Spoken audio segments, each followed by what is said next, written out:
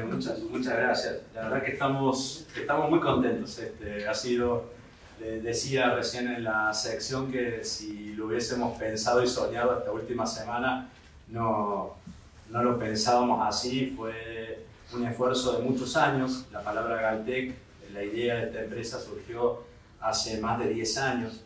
Eh, y bueno, nuestra investigación hace 30 años, y jamás hubiéramos pensado que coincidía en una semana donde un candidato dijera que querría eliminar al, al, CONICET. Así que, bueno, fue la respuesta, creo, este, una respuesta perfecta para eso. Eh, Galtec es una empresa de base tecnológica fundada por investigadores del CONICET, o sea, por este, investigadores de mi laboratorio y, y por mí, eh, que tiene como la función es traducir eh, descubrimientos que hicimos en el laboratorio y tecnologías que ya están listas para este, poder transferirlas a la clínica, para poder permitirles madurar y generar productos biofarmacéuticos. Eh, digamos, nuestro trabajo durante, los, durante todas estas épocas ¿no? fue intentar dilucidar la función de unas proteínas que se unen a glicoconjugados y que se llaman galectinas. Básicamente, demostramos el rol de galectina 1 en el escape tumoral, o sea, los tumores utilizan a medida que se hacen más, avanzan y se hacen más metastásicos, producen una proteína que se libera y elimina y genera una disfuncionalidad en el microambiente tumoral que hace que los linfocitos no puedan ingresar al tumor y no puedan eliminar al tumor. Esa es la base de nuestro del paradigma que, que descubrimos. Eh, y a su vez esta misma proteína a nivel fisiopatológico juega un rol frenando la respuesta inflamatoria durante todo este tiempo, digamos, mientras fuimos publicando, eh, una cosa que nos, nos, emocionaba mucho es que muchos otros laboratorios en el mundo podían verificar nuestros hallazgos, eso nos, nos fortaleció mucho y llegó un momento que teníamos que elegir cuál era la mejor forma de transferencia. En un momento nos pareció que podía ser este, licenciar a una empresa multinacional lo que habíamos generado, que era un anticuerpo neutralizante bloqueante de galectina 1 para cáncer, y una variante estable de galectina 1 para el tratamiento de enfermedades autoinmunes como esclerosis múltiple.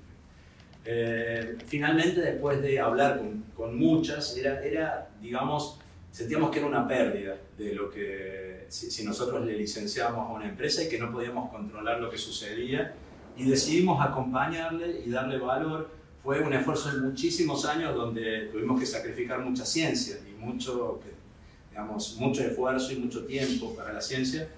Y, y, eso fue, digamos, en algún momento alcanzó un pico, después este, disminuyó y, y, bueno, y ahora este, nos empoderamos mucho y, este, y bueno, y surgió la posibilidad, surgieron inversores privados que decidieron este, poner su dinero, inversores ángeles, para que esto pueda prosperar. En los próximos dos años nos espera que estas, estas tecnologías, estas dos tecnologías, digamos el anticuerpo antigalectina 1 y la variante de galectina 1, puedan atravesar lo que se llama prácticas de buena manufactura, de GMP, para poder llegar este, a presentar a las autoridades regulatorias más este, exigentes, FDA, ANMAT, etc. El grupo es un grupo mezcla nacional este, e internacional que que han decidido poner el dinero que necesitamos para poder llegar a, esa, a ese hito. Hicimos un muy buen convenio con CONICET, donde un porcentaje importante de las regalías de todo eso y de cada hito le llegan al CONICET, con lo cual, este, lo, que, lo que decía este candidato justamente de la semana pasada, digamos, creo que, que neutralizamos su, su, su opinión, su argumento. Este, y justo coincidió, realmente. Hay gente que dice, ¿por qué lo hicieron justo ahora? Bueno, venimos programando y las invitaciones fueron cursadas mucho antes que esto. O sea, hace un año que venimos programando que el 17 de agosto se iba a hacer esto y justo coincidió. Pero bueno, la idea de ahora en más, digamos, funciona en, en el subsuelo del Instituto de Biología y Medicina Experimental y, y, Galtec tiene tres, es un triángulo de tres aristas. Una de las aristas es el desarrollo de aquellos productos maduros para poder hacer los GMP y que lleguen en, dos años poder comenzar la fase 1. Esa es, es la idea. Eh, se va a hacer GMP este, y presentar a la FDA, EMA, etc. Otra de las aristas es la investigación de otros productos que están traccionados pero menos, menos maduros y que la investigación tecnológica se va a hacer en el contexto de, Gal, de Galtec. Por ahora Galtec son, somos seis personas. Este, somos pocos, pero con, con, con, el ingreso, digamos, de más dinero se va a poder contratar mucha más gente Y hay una parte social que, que, para nosotros es muy importante, que es la parte comunicacional de contener a los pacientes hasta que esto esté listo. Y tenemos el apoyo de muchos laboratorios de afuera, digamos. O sea, hoy en día hay una revolución muy grande en torno a la inmunoterapia que ha salvado muchísimas vidas eh, respecto a cuando hablamos antes de la quimioterapia o de la radioterapia. Y lo que queremos hacer nosotros con esto es aumentar la cantidad de oportunidades, porque el porcentaje de pacientes que se benefician son de un 15 o un 20% por tumor, en algunos casos un 10%, en otros un 20%. Eh, y es pacientes que tienen mutaciones particulares este, o este, inestabilidad microsatelital. Eh, decidimos este, especialmente ir al cáncer de colon porque es el segundo cáncer en frecuencia, especialmente hoy en día en los más jóvenes, por otro, y, el tercero en letalidad en el mundo. Digamos, se está aumentando mucho en el mundo occidental y en los modelos preclínicos es el mejor de los tumores donde funciona nuestro anticuerpo.